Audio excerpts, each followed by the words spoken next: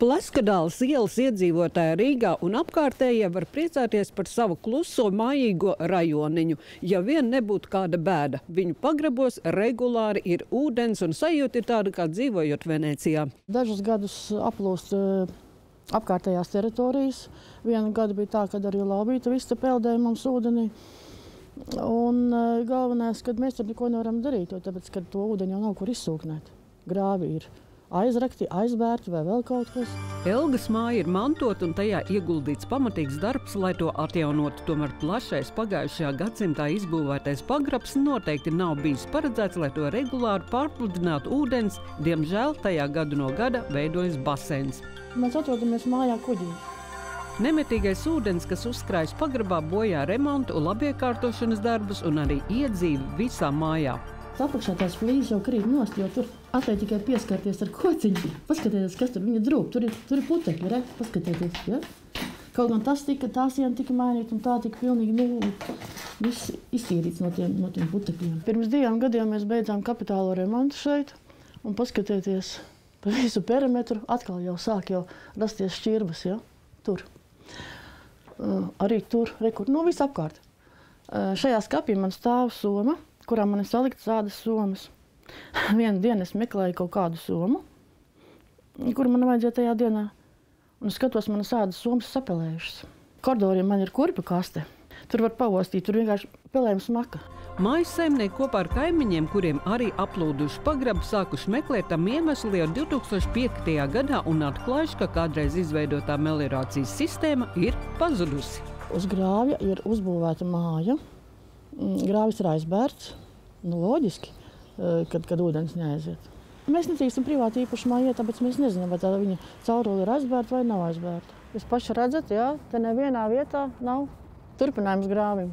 Elga turpina cīņu jau neskaitāmus gadus, raksta vēstules, aicina ierēģņus, apmeklē visas iespējamās institūcijas, bet rezultātu nav. Pie visiem Rīgas mēriem, pie visiem uh, varam ministriem, pie mm, visādiem uh, departamentiem, un, kas saistīti ar vidi, nu, tā ir pilnīga bezcerība. Visi atrakstās un, un, un formāli kaut ko atbild, bet uh, nu, rīcība nav nekāda. Arī mēs apveicājāmies tiem pašiem departamentiem un ministrijām. Kāpēc Plaskudāles iedzīvotājiem jādzīvo kā kuģī vai basēnā? Un visi norādīja tikai vienā virzienā par to atbildīga vietējā pašvaldība. Vieta ir apsakota, problēma ir zināma. Un meliorācijas grāvji viņi pēc būtības novada virzemes ūdeņus un daļai pazemina gruntsūdeņus.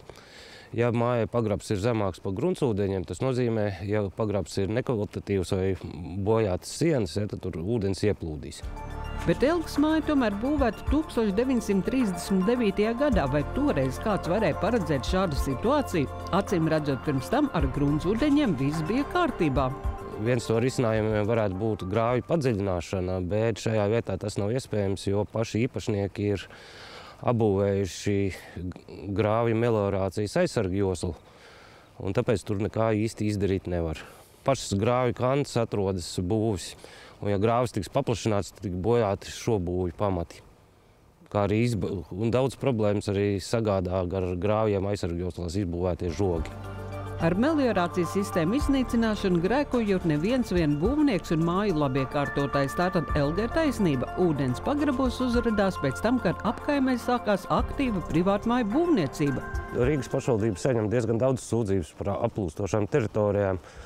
Un liela daļa vainas ir tajā, ka pašvaldība nevar piekļūt klāt savie, savā pārziņā esošajiem meliorācijas grāvjiem jo īpašnieki ir viņus aizsprostojuši, sabūvējuši žogus gar malām, un tāpēc pašvaldība gan pavasaros, gan rudeņos ja, sūta atgādinājumus, aicinot, aicinot atbrīvot grāvis, lai, viņus, lai tos var iztīrīt. Blakus grāvim melorācijas aizsargi joslā ir uzbūvētas palīgbūvs, ja, kas neļauj veikt grāvju padziļināšanas darbus.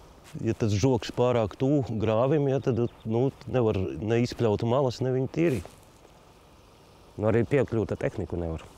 Par kādreizējām meliorācijas sistēmām šķiet, neviens vairs īsti neatbild. Ne vidas pārvaldes, ne ministrijas Rīgas doma atrunājas, ka tas ir iedzīvotāju pašu ziņā, un pašvaldības neko vairāk nevar izdarīt, jo pat teritoriju apsakot un grāvis iztīrīt traucē zemes īpašnieki.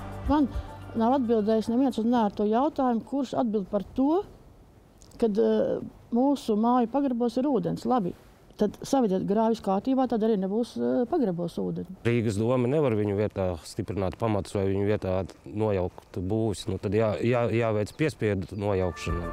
Lai kā mums gribētos cerēt, ka pašvaldība ņems un atrisinās Plaskudāls iemītnieku gadiem ieilgušo problēmu, izskatās, ka situācija nonākusi strupceļā un katrs mājas īpašnieks ar plūdiem savā pagalmā cīnās saviem spēkiem. Ruta Madrai, Arķems Kočorjans, 4. studija.